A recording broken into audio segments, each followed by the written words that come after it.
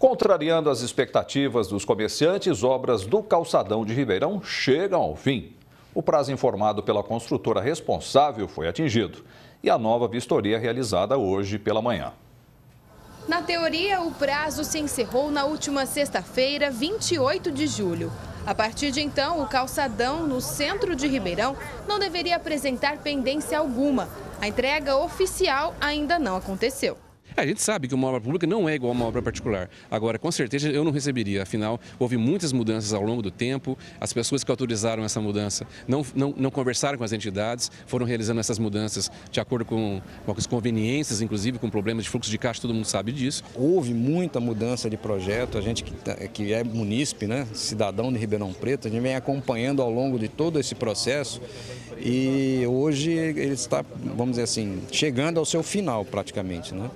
Então, nós que discutir tudo que foi feito no passado, é, não, acho que não, não, chegaria a bom termo. Agora precisamos discutir como, como terminar bem essa obra. Se reuniram para uma última vistoria na obra os membros da Comissão Especial de Estudo que trata o assunto na Câmara de Vereadores, acompanhados do secretário de Obras, participantes ativos de associações da região central e representantes da construtora.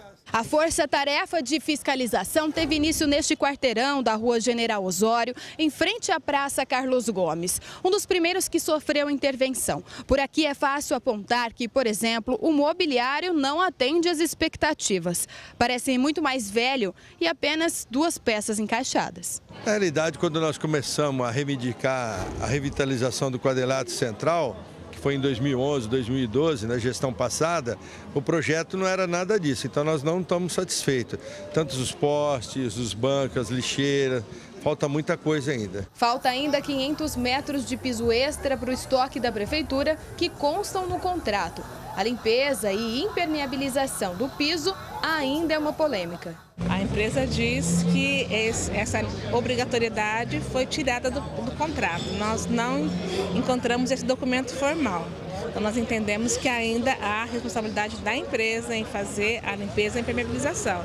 E é por isso que nós vamos brigar. Na expectativa da sociedade organizada que é envolvida na causa do calçadão, o maior empenho e pulso firme do Legislativo e Executivo para a resolução do impasse. Nós estamos várias associações, Associação Comercial, a AMEC, a Consegue, nós estamos aqui realmente para cobrar os órgãos públicos, para entregar o calçadão, o quadrilátero que Ribeirão Preto merece. A gente espera então que num curto prazo retome então a finalização da obra que ela não foi finalizada. Thaís Mantoani para o Jornal da Clube.